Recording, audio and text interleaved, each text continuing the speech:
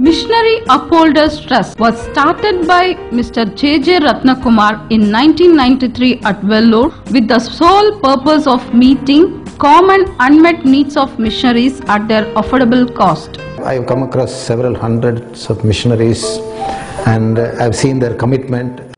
God clearly tells that it's everybody's responsibility to reach the unreached for Christ. If I really understand what sufferings my fellow brother undergoes, I cannot keep quiet. The missionaries, they sacrificed everything and they have committed their life for this great sacrifice so they can manage any situation because that is their call and commitment. Missions from all over India join hands and that brings about a synergy to serve each other. Today in our country, there are over 50,000 cross culture missionaries. There are lots of unmet needs in the life of the missionaries in our country. Those missionaries are working in a context where there are lots and lots of unmet needs. Physically, emotionally, and spiritually, these dear missionaries are daily, daily confronting. As the days went by, following areas were identified and met.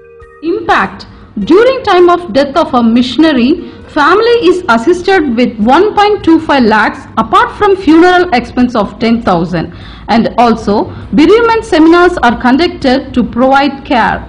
Crisis relief provided when unexpected crises like death of parents, theft, calamities, etc. happens in the life of missionaries.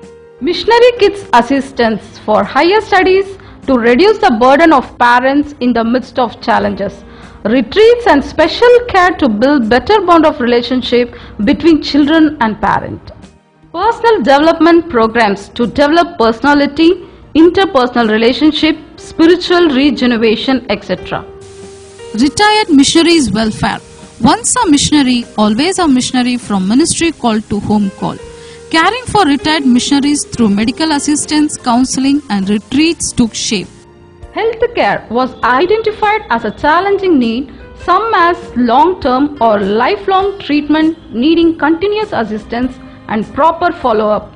Doctors, mission hospitals like CMC, EHA, CFH, etc., as well as the contribution of those burdened in helping to meet this need. I am Mrs. Sunanda Kandare, serving with Maharashtra Village Ministries for the past 25 years. I was diagnosed to have breast cancer in June 2017. Even though I heard the same, I had peace in me, but my husband was totally disturbed. I was sent to MUT by the MVM. Here in MUT, I feel as a home away from home. The mission-minded doctors in CMC giving the extra mile to provide best of care and encouraged me to take this treatment. The love and concern of MUT along with the financial assistance for the treatment reduced the financial burden from me. This is Kankaratnam, IEM missionary, working in Karnataka state. 2016, June, doctor diagnosed that uh, I have spinal cord infection. It takes much time to recover.